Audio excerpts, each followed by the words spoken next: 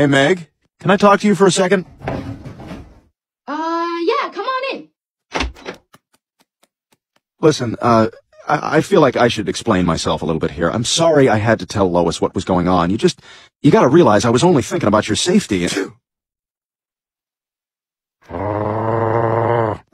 Luke, you might as well come out now. Luke! They- They let you out of jail? Not exactly. You broke out to see me, Brian. We're in love. Meg, are you crazy? You can't harbor a fugitive. That's a felony. Only if someone finds out. Are you gonna do it? Are you gonna tell on me again? Well, I, I, Brian, will you call me on my Mickey Mouse phone? Wait a second. Why is that guy wearing a prison jumpsuit? Think, Peter. Think. Wait, hang on. Sunday, Sunday. Here it is. Peter gets more than he bargains for when he joins the rodeo. Boy, did I. And Meg dates a prison escapee. Oh no! Luke, run! It's Peter. Two things. First of all, when I was over at your house the other day, I forgot to tell you how much I liked the rearrangement you and Bonnie did with your living room furniture. Second of all, come outside. There's an escaped convict running across the street.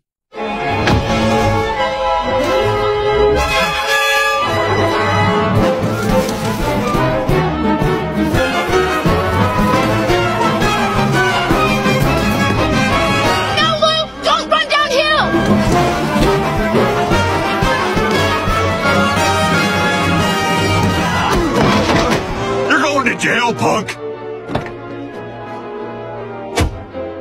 No, Mr. Swanson, you can't take him! Yes, I can, Meg. He's going back to jail. Well, if you're taking him to jail, you have to take me too! I know, that's the plan. You're under arrest for harboring an escaped convict. Oh, well, that's only fair because after all, I did hide him from the- What?